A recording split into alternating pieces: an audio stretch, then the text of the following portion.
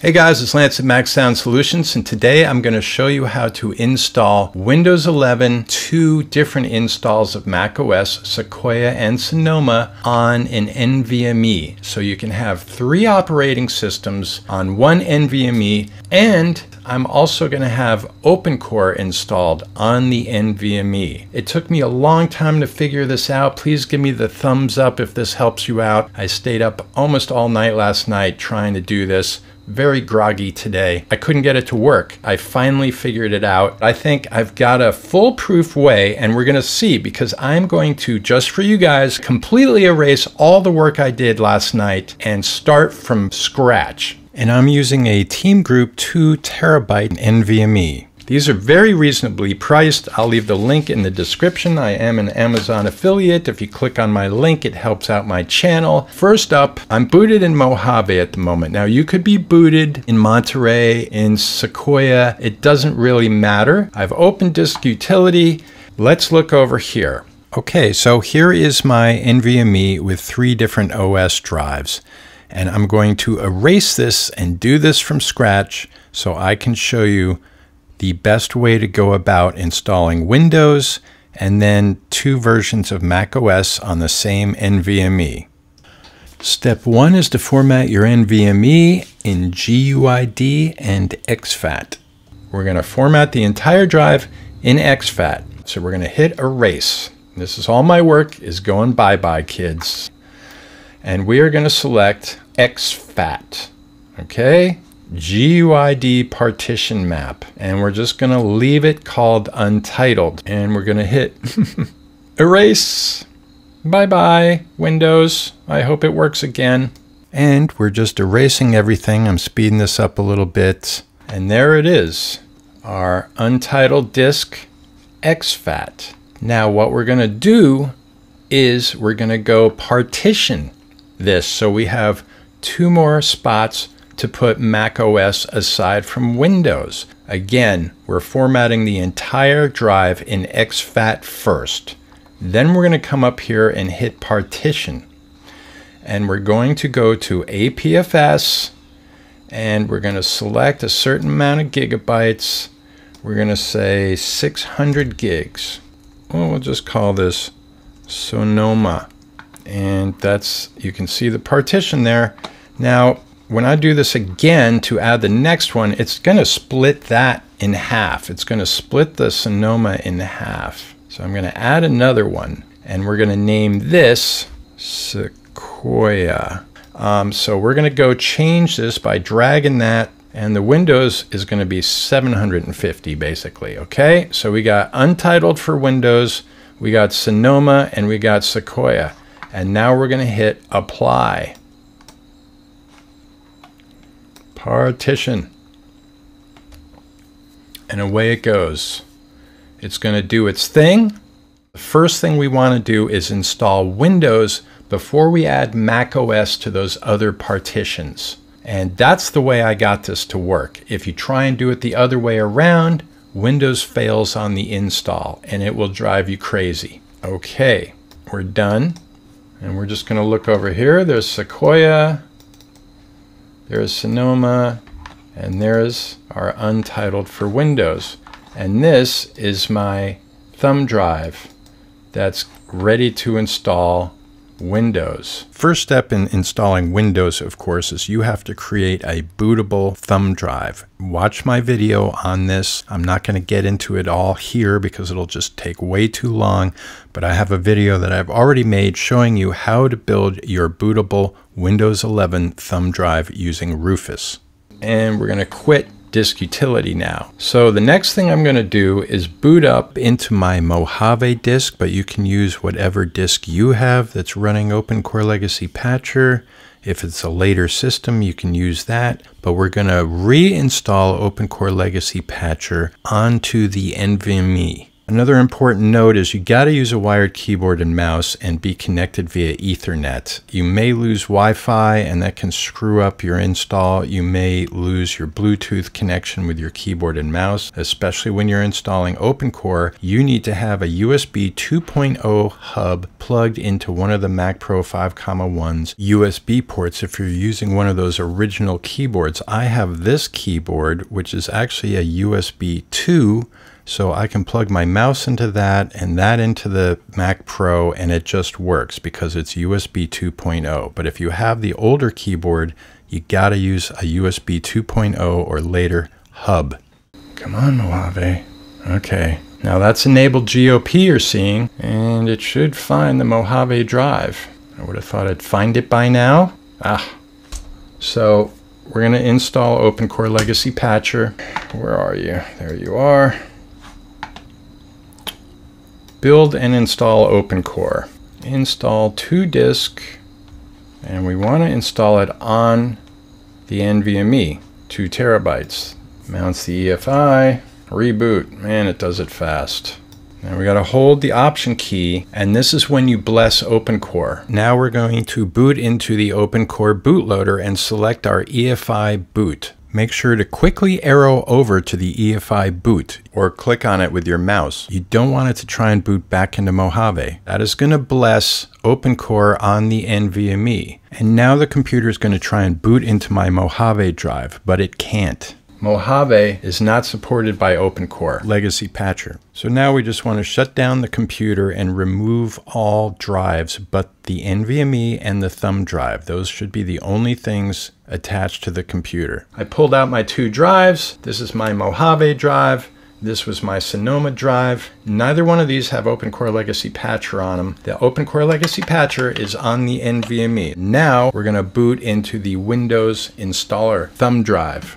So I plugged in the thumb drive and we're booting up. And now there's no OS in the Mac, only Windows bootable thumb drive. That is the system we're going to be booting off of. Now that OpenCore is blessed on the NVMe, it's amazing how you can beat the hell out of these Mac Pros, reboot them, reboot them a million zillion times, and they pretty much just keep on going. They're like the energizer of computers built like a tank, last forever. At least mine has. All right, there is our installer. That is our only system in the computer at the moment is the thumb drive. And now we're going to see, fingers crossed, we're going to install Windows 11 onto the NVMe on the partition that we created for Windows. Now it's formatted in exFAT. The Windows installer is going to reformat it. That does not erase OpenCore install now. And of course, this is a slightly lengthy process, but there's a very important part of this which is coming up. I don't have a product key at the moment. You can just skip that. And we're going to pick Windows 11 Pro. I accept your challenge. Now here we have to select Customize Install Windows only, Advanced, because this is just for upgrading an already pre-existing Windows. So here's our NVMe and the four partitions. It's got the OpenCore EFI, the two Mac partitions, and it's got the Windows partition. A lot of it has to do with where your drives are located. If my Mojave drive was in there, it would be drive 0 and then the NVMe would be drive 1 with the partitions. That's part of the issue. You got to get rid of your other drives. It only wants to see one drive you can see the little exclamation point Windows can't be installed on drive 0 partition 4. You have to delete the partition that you want to install Windows on and you can see this one is 700 gigs. The other two are the smaller ones for Mac OS and it's still exFAT whereas the other two are APFS and it helps to make your Windows partition a different size than the Mac OS partition so you know which is which. All right, we're going to delete our partition. Delete. And the can't install warning disappeared. And it now says unallocated space. Next. And that's what you want. Why you have to do this, it's beyond me. And we're just going to speed up the video a little bit. So I guess Windows just went in and reformatted the partition for me. I didn't have to format it in NTFS, it just does it. But first, you have to delete that partition. That is very important. If you don't do that, you're going to get an error. But first, my mistake late last night. So here I am last night, thinking I've figured it out, but I still have my other two SATA drives installed with Mojave and Sonoma. I think I'm getting there, and then, oh, no. Error right at the end when it's going to reboot. Thankfully, Windows takes way less time to install than Mac OS. It's still a process, but once it gets through this and it reboots, you're in the clear. If you get an error, I was getting an error right at finishing up, which is the final thing it shows on the screen there, and it was making me crazy. And I have a hard time giving up on computers when there's something wrong with it. I can't sleep until I figure it out and fix the problem. So we're moving along here. We're doing all right. We're going to speed this up. All right. We're rebooting. That means we made it. So, second time around, it worked. Okay, now we're going to boot into Windows, not the installer. All right. Now it's booting off the NVMe and then it's going to do several reboots just like Mac OS does, but not as many. I'm relieved that I am now able to recreate this. So the next steps are just to finish the Windows install and then install Mac OS, whatever one you want, on the other APFS partitions. Yeah, take that, Windows!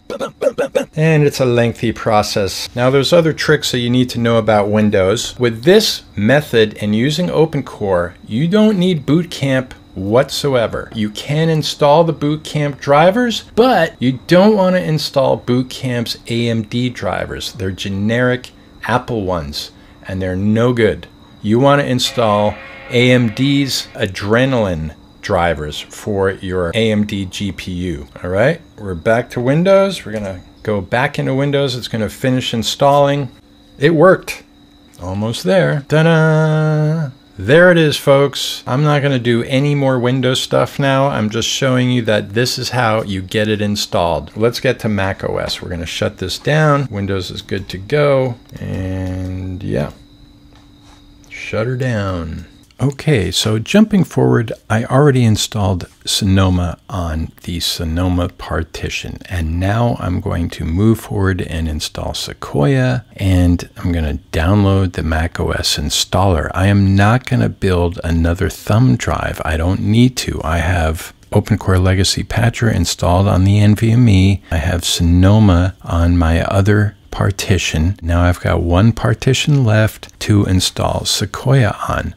So I'm just going to download the installer, install it onto the Sequoia partition, and then I'm going to run the post patches after the installation is done. And then I'm done. I got Windows 11, I got Sonoma, and I got Sequoia, all on one NVMe. So this is what my OpenCore Legacy Patcher bootloader looks like now on my Mac Pro 5.1. I got Windows, I got Sonoma, I got Sequoia. Those are all on the NVMe. Then I've got Beta Sequoia on an SSD in one of the SATA bays, and I've got Mojave in the other SATA bay. So I've got five different systems in my Mac Pro 5.1. Pretty cool. So I thought it'd be nice to have a summary at the end of the video of all the steps to do this so you don't have to watch the video over and over. You can just come to this part of the video and learn how to do it, follow the steps, and hopefully it all works for you. So please subscribe to my channel, give me that thumbs up, and I'll see you on the next Mac Sound Solutions video.